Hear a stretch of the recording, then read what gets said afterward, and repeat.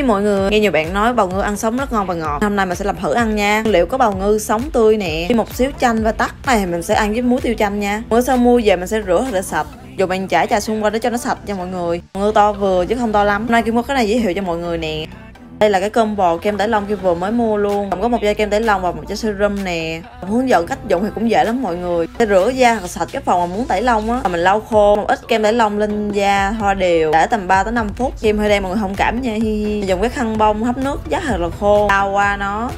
Trời tao nói lông nó đi mà ngọt gì đâu luôn á. Khi lau xong, da cực kỳ sạch mọi người. Không hề đau rát hay bị đỏ luôn. Sạch bông láng bóng. Bây giờ mình sẽ hoa serum lên. Serum này có chất mỡ chân nó rất là tốt cho da nè. Nào đang đau đầu về cái phần tẩy lông Thử sản phẩm này đi nha. Đã xài và sử dụng thấy rất là tốt. Không phải chân nữa mọi người. Bóng luôn. Mọi khi mình rửa sạch rồi, Cắt ra từ miếng nhỏ để cho dễ ăn nha mọi người. Rồi bỏ luôn cái phần ở dưới đít của nó đó. Giống như là ruột hay phân của nó gì đó, Mình cũng không rõ nữa. Nhìn thôi là thấy ngon rồi đó mọi người.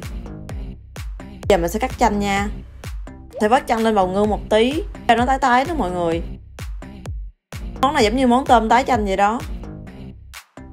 Kim sẽ làm muối chấm nè. Ăn ớt cay thì cho ớt nhiều tí nha. Cho tiêu với muối luôn Ăn cho nhuyễn rồi vắt chanh vô. Xong, một chén muối tiêu chanh cực kỳ cay và ngon. Chua chua mặn mặn, cay cay xé lưỡi luôn. Mời mọi người ăn với mình nha. Sau khi ăn và cảm nhận của mình, Ngư rất là ngon và ngọt. Không hề dai như suy nghĩ và tưởng tượng nào, ăn được món sống thì thử ăn món này đi nha. Đảm bảo không thất vọng và không uổng tiền đâu. Ngư tuy có hơi mắc, nhưng ngược lại nó rất là ngon và mềm, bổ dưỡng nữa mọi người. Còn này kim ăn thì một ít thôi. Ít kim sẽ đem đi nấu súp hoặc là nấu cái món gì đó.